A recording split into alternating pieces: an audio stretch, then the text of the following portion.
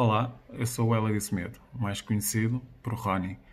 Fui atleta do Sport Lisboa Benfica de 2013 a 2017. Uh, a minha passagem pelo Benfica teve vários bons momentos, mas sem dúvida que a época 2015-2016 foram das melhores, em que conseguimos chegar às finais de, de, do campeonato, da taça, da Challenge Cup mas sem dúvida que o momento marcante foi a conquista da taça, em que chegámos à final e, e ver os adeptos todos do Benfica, a família, foi algo maravilhoso. Aquele último segundo em que faltava para acabar o jogo foi sem dúvida maravilhoso.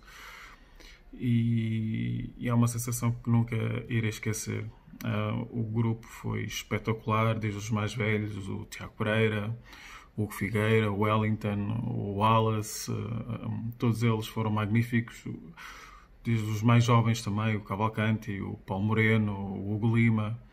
Uh, foi um grupo que esteve bastante coeso, mesmo nos momentos mais difíceis conseguimos dar a volta e que sem essa coesão seria impossível. O meu melhor jogo também posso dizer que foi a final.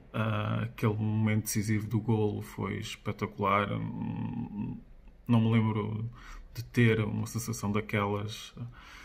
Acho que não há maneira de explicar, só mesmo sentindo, porque não tenho como descrever aquele momento. Foi simplesmente mágico, foi adorável e ver toda a equipa, a felicidade deles para mim valeu, valeu aquele golo, valeu tudo, porque foi o resultado de muito trabalho, muito esforço, muita dedicação de todos nós. E o melhor golo, pronto, foi exatamente esse.